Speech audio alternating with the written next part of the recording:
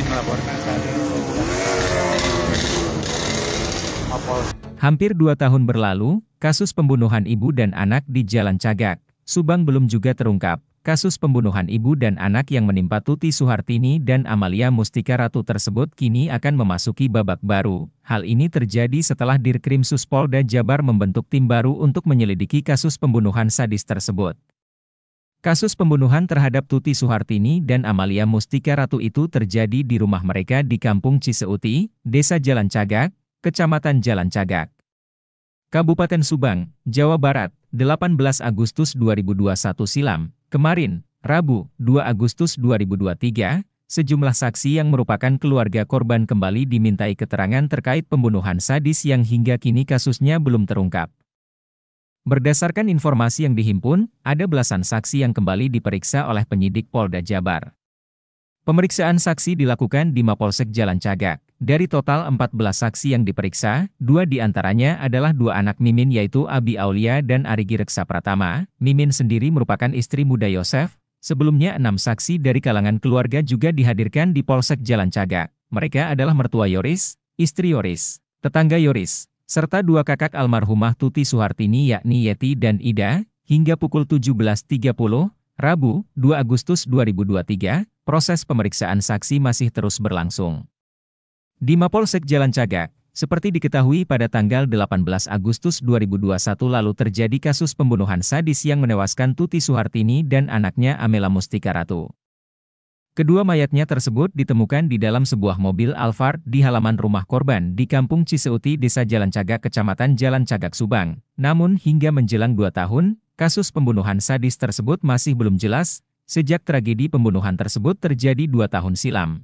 124 saksi sudah diperiksa namun polisi belum berhasil menetapkan tersangka. Hari ini, kasus pembunuhan ibu dan anak tersebut memasuki babak baru dengan kembali meminta keterangan dari pihak keluarga.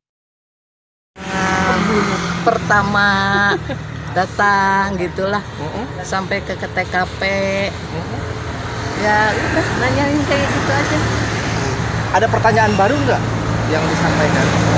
Eh, pertanyaan baru Ya, apa ya pertanyaan baru iya apa maksudnya sebelumnya Owa pernah periksa juga kan Iya. sama tim penyidik ini. Eh, ada pertanyaan selain pertanyaan yang sudah ditanyakan ke Owa sebelumnya nggak Pak? iya sama Apa tuh Pak? Ada. Apa, tuh? misalkan kejanggalan-kejanggalan gitu saya ceritain sampai sesudahnya gitu. Ya banyak kejanggalannya biasa nggak dilakukan ya. Dilakukan kayak gitulah. Udah udah ini udah apa udah nyata lah gitu Kejanggalan-kejanggalannya kejanggalan apa sih Pak? Kalau bisa diceritakan Pak? Wah, eh, diperiksa dari kapan, Pak? Di dari kapan Dari jam berapa? satu jam Sampai, sampai jam sekarang jam berapa jam 5 lewat, berarti 4 jam ya Pak. Berapa Iya. pertanyaan Pak tadi Pak ini? Hah? Berapa pertanyaan?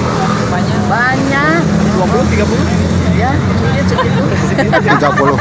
Eh, didampingi pengacara nggak, Pak? enggak lah untuk apa saya nggak berdosa Harapannya kalau dewas kalau punya dosa ya pasti langsung di, diadili terus eh, dipakai pengacara terus.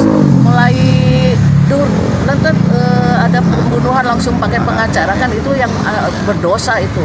Kalau kita kita kan apa Hingga saat ini, Pak, eh, berapa bera- yang dirasakan berapa kali diperiksa, Pak? saya banyak. Nganterin ini nganterin Ida Oh, Ida. di Subang sampai di sini.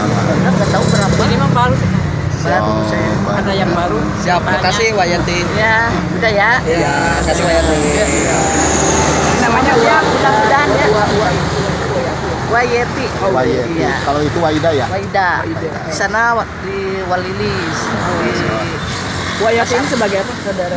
kakak paling gede. Kakak. Paling besar. iya. Waida. iya. Waida. Kalau Waida, Waida. kedua. Kedua. ketiga Lilis di pasar keempat yang bungsu yang iya.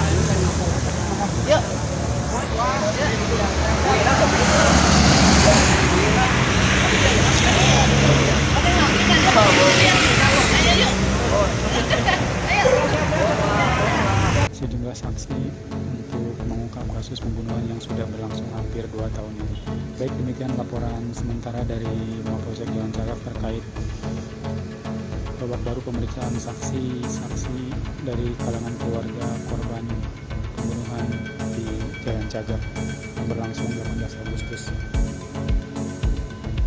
2 tahun silam tersebut.